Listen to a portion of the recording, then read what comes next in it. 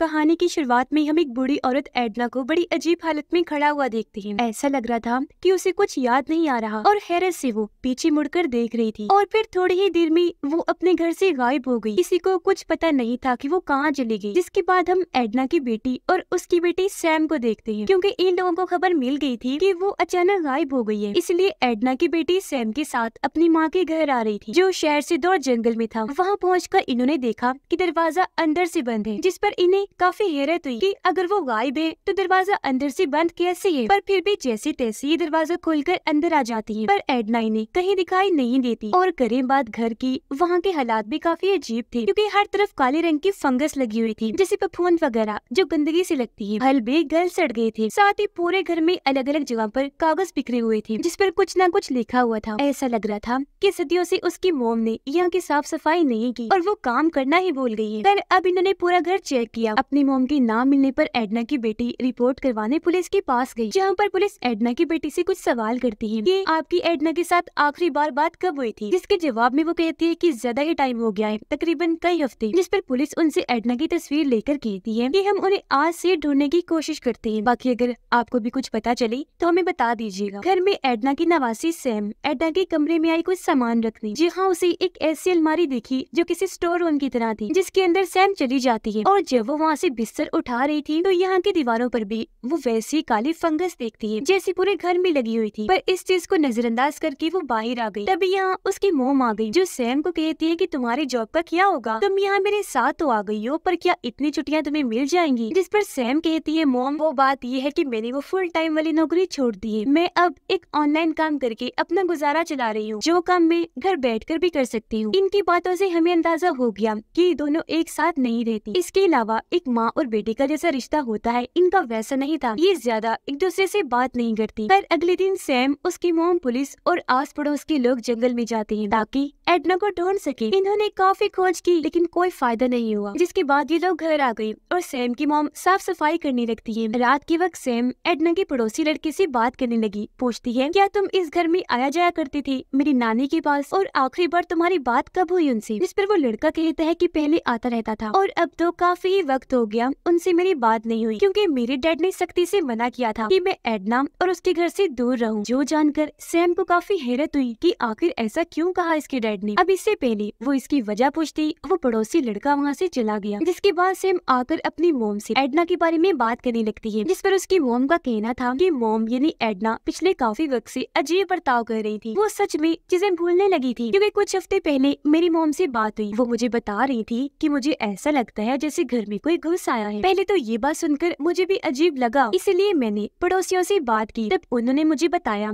कि ऐसा कुछ नहीं है, बल्कि अक्सर एडना खुद ही दरवाज़ा खोल के भूल जाती है, जो बंद करना उसे याद नहीं रहता और उसे वहम होता रहता है कि घर में कोई घुस आया है। ये सुनकर सैम को अजीब लगा। वो अपनी मोम को कहती है कि वो बुज़ुर्ग है। आप उनके बारे में इतना कुछ जान गई थी, लेकिन फिर भी उन्हें अपने घर में क्यों नहीं लेकर गई? ये आपके घर में इतनी भी जगह नहीं थी। वो बोझ है आपके लिए। जिसके जवाब में उसकी मोम कहती है, बेटा, बात घर में जगह, ये बोझ की नहीं है, बल्कि मैं अपने गाँव में बहुत मसरूफ रहती हूँ। अपने घर उन्हें ले जाती तो ख्याल कैसे रखती? जिसके जवाब में सैम कहती है, मोम, उन्होंने आपको पाल पोस कर इतना बड़ा किया, हमेशा आपका ख्याल रखा और आज जब उन्हें आपकी ज़रूरत पड़ी तो आपने उन्हें अकेला छोड़ दिया, उनसे मुँह मोड़ लिया। जो कहने के बाद वो यहाँ से चली गई। अब सैम की मोम जब अपने कमरे में थी तो उन्हें एक दीवार में से अजीब तरह की आवाज़ें आती हैं, जो इतनी तेज थी कि सैम को भी दूसरे कमरे में सुनाई दी और अब वो भी यहाँ आ गई। इन्होंने देखा कि उस दीवार पर काली फंगस काफ़ी तेज़ी से फैल रही है, जो देखकर इन्हें लगा कि ज़रूर इसकी वजह से ही आवाज़ आ रही होगी। तो इस चीज़ को ये नजरअंदाज कर देते हैं। अब रात को जब सैम की मोम सो रही थी तो उन्हें एक अजीब सा सपना आया, जैसे जंगल में एक घर है और वहाँ पर एक बुरा आदमी रह रहा है। पर जब ये अंदर गई चेक करने तो उस आदमी की मौत हो गई थी। यहाँ तक कि उसकी लाश का भी बुरा हाल था। वो गल सड़ गई थी। अब ये इतना भयानक सपना देखकर सैम की मोम काफ़ी डर गई। उनकी आँख खुल जाती है, पर उन्होंने देखा की अभी भी रात है, इसलिए वो अपनी बेटी सैम के पास ही आकर सो जाती है। फिर अगले दिन जब उसकी आँख खुली तो उसे किचन में से आवाज़ें आने लगी और जब उसने जाकर देखा तो वहाँ उसकी मोम एडना थी, जो खुद ही वापिस आ गई थी। और अब उन्हें उन्हें सही सलामत देखकर सैम की मोम काफ़ी खुश हो गई, उनकी जान में जान आई। पर अब जब उन्होंने एडना से ये सवाल किया कि आप कहाँ थी तो इसका वो कोई जवाब नहीं देती। इतनी ही देर में यहाँ सैम भी आ गई, जो भी अपनी नानी एडना को वापस देखकर काफ़ी खुश हो जाती है। अब सैम की मोम पुलिस स्टेशन कॉल करके एडना के वापस आने की खबर देती है। साथ ही वो एक डॉक्टर से उनका चेकअप भी करवाती है की उसकी मोम ठीक तो है, जिस पर डॉक्टर उन्हें तसली वाली बात बताती है की आप शांत हो जाए। ये एकदम ठीक है, हर चीज़ ओके है। इन्हें कोई चोट वोट भी नहीं आई है। पर जब डॉक्टर ने उनके सीने पर बने काले निशान को देखा तो वो इस बारे में एडना से सवाल करती है, जिस पर एडना का कहना था कि मुझे नहीं पता इस बारे में। मैंने भी ये निशान अभी देखा, जिस पर डॉक्टर इस निशान को नजरअंदाज करके कहती है की अपने आप ही ठीक हो जाएगा। और सैम की मोम को कहती है की ये बुरी हो गई है। इनकी इस उम्र में अकेला मत छोड़े, इनका ख्याल रखा करे, जो कहकर वो चली गई अब सैम की मोम दोबारा एडना से पूछने की कोशिश करती है की, मोम, बताए तो सही, आप गई कहाँ थी? जिस पर एडना का कहना था की, बेटा, मुझे कुछ याद नहीं आ रहा और मेरी तबीयत भी ठीक नहीं ये सुनकर सैम अपनी मोम को कहती है, मोम, अभी आप ऐसा करें, नानी को आराम करने दी। हम इस बारे में उनसे बाद में बात कर लेंगे। जिसके थोड़ी देर बाद सैम एडना के लिए चाय बनाकर लाती है। अब इससे एडना को काफ़ी अच्छा लगा और वो सैम को तोहफे के तौर पर अंगूठी देती है। यहाँ सैम को एडना की एक स्केचेस वाली किताब भी मिलती है, क्योंकि फ्री टाइम में वो कुछ न कुछ बना लिया करती थी। यह एडना ने अपने बेटे की भी तस्वीर बनाई थी, जिसे सैम अपनी मोम को जाकर दिखाती है, जो देखकर उसकी मोम काफ़ी खुश हो गई की मेरी माँ ने मुझे जहन में रख के मेरा स्केच बनाया। फिर सैम को वहाँ एक घर का स्केच दिखा, जिसके बारे में पूछने पर सैम की मोम उसे बताती है कि ये घर हमारे दादा और दादी का था, जिसे बाद में हमने छोड़ दिया। फिर काफ़ी अरसे के बाद हमें पता चला कि दादाजी अकेले रहा करते थे। एक बीमारी की वजह से उनकी मौत हो गई, जिसके बाद हमने उस घर की और दादाजी की याद में उनके दरवाजे पर लगी कांच की खिड़की उतार ली और उसे लाकर यहाँ के दरवाजे पर लगा दिया, जिसके बाद वो सैम को कहती है कि अच्छा कल तुम अपनी नानी का ख्याल रखना, क्योंकि मैं उनके लिए ओल्ड एज होम देखने जाऊँगी। यानी जहाँ बूढ़े होने पर लोगों को भेज दिया जाता है। क्योंकि माँ को मैं वहाँ भेजना चाहती हूँ, अपने पास नहीं रख सकती। वो वहाँ सही रह सकती है। अब ये सुनकर सैम को काफ़ी गुस्सा आ जाता है और वो अपनी माँ पर भड़क उठी। उन पर काफ़ी गुस्सा करके वो अपने कमरे में आ जाती है, जबकि उसकी मोम भी सोने के लिए लेट जाती है। पर तभी उन्हें बाहर से आवाज़ आई। वो जब चेक करने गई तो देखती है कि उसकी मोम एडना अजीब तरह से दरवाजे की उस खिड़की के पास खड़ी है, जिसे दादाजी के घर से लाया गया था। और एडना उसे बड़े गौर से देख रही थी। अब तभी एडना की बेटी उसे कमरे में लाकर बेड पर बिठा देती है ताकि वो सो सके। एडना कहती है कि मुझे अजीब सी घबराहट हो रही है। मुझे ऐसा लग रहा है जैसे मेरे बेड के नीचे कोई है। अब उसकी बेटी बेड के नीचे झाँक कर देखती है, लेकिन वहाँ पर कुछ भी नहीं था। जिसके बाद अगले ही दिन वो एडना के लिए ओल्ड एज होम ढूँढने चली गई। एक जगह उसे पसंद तो आई, जो हर लिहाज से काफ़ी ठीक थी, पर यहाँ वो जज्बाती होकर रोने लगी, क्योंकि अब उसका दिल नहीं मान रहा था कि वो अपनी माँ को यहाँ रखे। लेकिन मजबूरी की वजह से उसे ऐसा करना ही पड़ेगा। इसीलिए वो अपनी गाड़ी में आकर इस बारे में सोचने लगी कि क्या करूँ, उसे अपनी मोम की फ़िक्र भी थी, इसीलिए वो बहुत ज़्यादा रोने लगती है। सैम देखती है कि आज नानी का मूड काफ़ी अच्छा है और वो डांस कर रही है, जिन्हें देखकर सैम भी काफ़ी खुश हो जाती है। अब जैसे एडना ने उसे देखा, वो उसे भी अपने साथ डांस करवाने लगती है, जिसके बाद दोनों ने काफ़ी बातें की। एडना उसे बताती है की पहले यहाँ पड़ोस का लड़का आया जाया करता था, तब मेरा दिल लगा रहता था, पर अब वो नहीं आता। और तभी से मैं खुद को अकेला महसूस करने लगी थी। तुम्हारे आने से कुछ दिल लगा हुआ है, वरना मैं तन्हाई में रहती हूँ। जो सुनकर सैम कहती है नानी, मैं सोच रही थी कि मैं यही आपके पास रहने लग जाऊँ। ऐसे आपका दिल भी लगा रहेगा और मैं आपका ख्याल भी रख लूँगी। जिस पर एडना कहती है, मेरी बच्ची, तुम कैसे रह सकती हो? अपनी माँ के पास तो रहती नहीं। मेरे पास क्या रहोगी? अब उनका ये कहना ही था कि तभी उन्हें अचानक पता नहीं क्या हो जाता है। वो काफ़ी अजीब हो गई। सैम को भी पहचान नहीं रही थी और उन्हें सब भूल गया था। वो सैम से पूछती है कि तुम कौन हो और यहाँ क्या कर रही हो? और उसे चोर कहकर कहती है कि इधर दो मेरी अंगूठी चोर। तुमने मेरी अंगूठी चुरा ली। जो कहकर वो सैम के यहाँ से ज़बरदस्ती अंगूठी को उतारने की कोशिश करती है। उन्हें तो ये तक याद नहीं था कि ये मैंने खुद उसे तोहफे के तौर पर दी थी। अब ये देखकर सैम काफ़ी घबरा गई। वो खुद ही उन्हें अंगूठी देकर यहाँ से चली जाती है। थोड़ी देर में जब एडना नॉर्मल हुई तो सैम की मॉम के वापिस आने पर उसे बताने लगती है की सैम ने कहा है की अब से वो मेरे साथ ही रहे। जो सुनकर सैम की मॉम उसे कुछ नहीं कहती। पर थोड़ी देर बाद सैम देखती है की एडना कमरे की अलमारी के पास खड़ी होकर उसे घूरे जा रही है। पूछने पर एडना उसे बताती है की वो चीज़ यही अंदर ही रहती है, जो धीरे धीरे करके घर को और मुझे भी अंदर ही अंदर से खाए जा रही है, क्योंकि वो जानती है कि इस घर में मेरी यादें हैं, जिस पर सैम उसे समझाती है कि ऐसा कुछ नहीं है नानी। घर भी ठीक है और आप भी। यहाँ कुछ भी नहीं है ऐसा। जिसके बाद वो पड़ोसी लड़के के डैड से मिलने आती है। पूछने पर वो बताते हैं कि हाँ मेरा बेटा अक्सर जाया करता था एडना के घर। वो उसके साथ खेलता था। वो साथ वक्त गुजारते थे। एक दिन जब वो दोनों हाइड एंड सीख यानी छुपन छुपाई खेल रही थी तो मेरा बेटा उसकी अलमारी में जाकर छुप गया। पर पता नहीं क्यों एडना ने उसे अंदर ही बंद करके अलमारी को लॉक कर दिया। वो कई घंटों तक अंदर बंद रहा। एडना ने उसे बाहर नहीं निकाला और जब मैंने इस बारे में उससे पूछा तो उसका कहना था कि मैंने तो आपके बेटे को देखा भी नहीं है। हालाँकि मैंने उसकी आवाज़ें सुन ली थी, फिर मैंने ही उसे वहाँ से बाहर निकाला और बस तभी से उसे एडना के पास जाने से मना कर दिया। अब ये सुनकर सैम को लगता है कि ज़रूर उस अलमारी में कोई राज छुपा हुआ है, इसीलिए वो उसे अंदर से चेक करने का सोचती है। वो जब अंदर गई तो वहाँ सच में एक रास्ता था। सैम उसके अंदर अभी नहीं जाती और ये सीन इधर ही कट हो जाता है। उधर सैम की मोम देखती है की एडना अकेली जंगल में जा रही है। ये भी पीछे पीछे चली गई और देखती है कि उसकी मोम पूरी फैमिली की शुरू से लेकर अब तक की सारी तस्वीरों को खा भी रही है और वहाँ ज़मीन में दफन भी करने लगी है। क्योंकि उसे डर था कि कहीं ये यादें मुझसे कोई छीन ना ले। पर अगर ये मैंने कर लूँगी या ज़मीन में दफन कर दूँगी तो ये महफूज रहेंगी। अब सामने सैम की मोम आ जाती है, जिस पर यह एडना उसके सामने बच्चों की तरह रोने लगी और कहती है कि मुझे अकेलेपन से डर लगता है। मैं खुद को बहुत अकेला महसूस करती हूँ। अपनी मोम की ये हालत देखकर उसे तरस आ गया और वो उन्हें गले से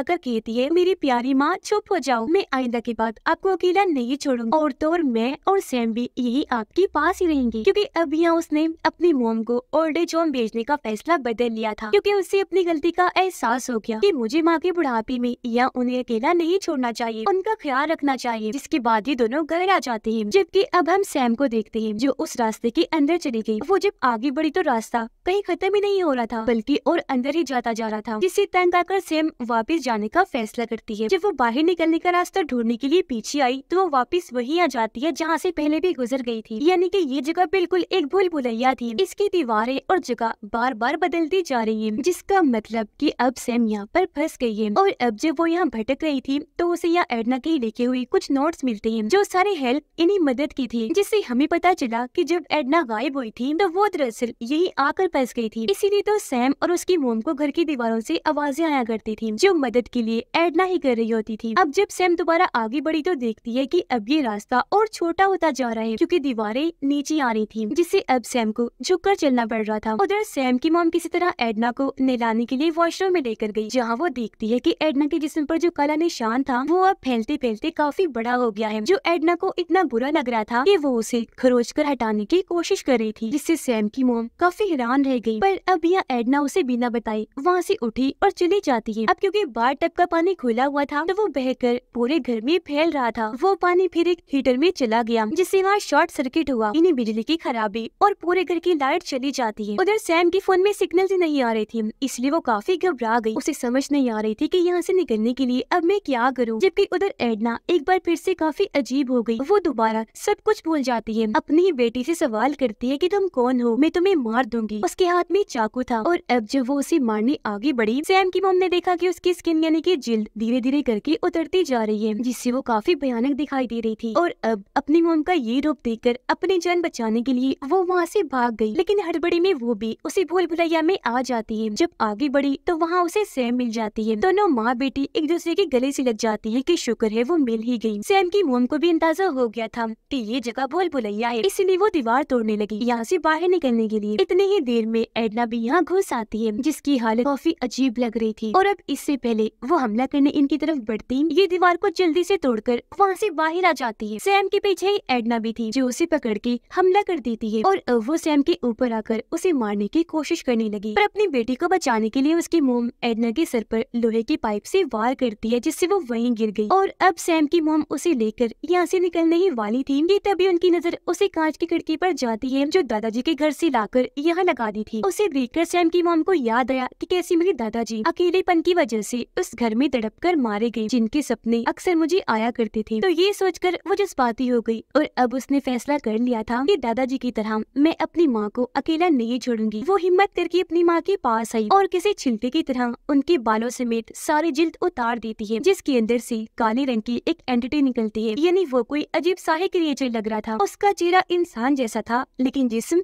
हड्डियों की तरह। अब सैम की मोम अपनी माँ एडना को बेड पर लेकर लेट जाती है और तब ये देखकर सैम भी अपनी मोम के पीछे वैसे लेट गई जैसे उसकी मोम अपनी माँ एडना के पीछे लेटी हुई थी। और अब वो नोटिस करती है कि मेरी मोम की गर्दन पे भी काले रंग का बिल्कुल वैसा ही निशान है जैसा एडना के सीने पर भी था, जो फैलते फैलते इतना बढ़ गया कि अब उसकी जिल्द को उतारना पड़ा। यानी कि अब सैम की मोम के साथ भी यही होगा। करीब बाद दरवाजे की उस खिड़की की, वहाँ भी फंगस बढ़ती ही जा रही थी। अब यहाँ हमें पता चला कि एक एंटिटी ने दादाजी के साथ भी बिल्कुल ऐसे किया, जैसा एडना के साथ, यानी उसे पोजेस्ट करके अपने कंट्रोल में करके अंदर ही अंदर उसे खा गई। और फिर मार कर उसकी जगह खुद ले ली। और अब यहाँ एडना को मारने के बाद उसकी हालत भी ऐसी कर दी। और अब उसकी बेटी इन्हीं सैम की माँ को पोजेस्ट कर लिया। उसके साथ भी बिल्कुल वैसा ही होगा। यानी काला रोग पाने के बाद उसकी भी मौत हो जाएगी क्योंकि तभी एडना की भी मौत हो गई थी। ऐसा इसलिए हुआ क्योंकि इन्होंने पुराने घर का कांच यहाँ लगाया था, जो कर्स्ट इन्हें शराब की तरह काम कर रहा था, जो एक के बाद एक इनकी नस्ल को बर्बाद करके ऐसे खाया जा रहा था। क्योंकि वो एंटिटी एक डीमन है, जो हेल इन्हें जहन्नम से आई। और लोगों को ऐसे मारकर ताकतवर बनना चाहती है। और अब ज़ाहिर है, सैम की मोम की बात उसका भी यही हाल होगा, यानी सैम का। पर अगर वो इस घर से चले जाए तो बच सकते हैं। पर यहाँ उनके लिए सबसे ज़रूरी चीज़ होगी अपनों का साथ। तभी वो हर तरह के मसले से लड़ सकते हैं। जैसा कि सैम की मोम अपनी माँ एडना से दूर रहती ये साथ मिलकर नहीं रहते थे। और ऐसी इनकी ज़िंदगी मसलों में ही एक दूसरे से दूर रहकर गुजर रही थी। तो हमारी ज़िंदगी में सबसे ज़रूरी अपनों का साथ है। जिस भी हाल में है, उनके साथ रहे, प्यार बांटे और उनका ख्याल रखें। और इसी के साथ इस फ़िल्म की कहानी यहीं पर खत्म हो जाती है।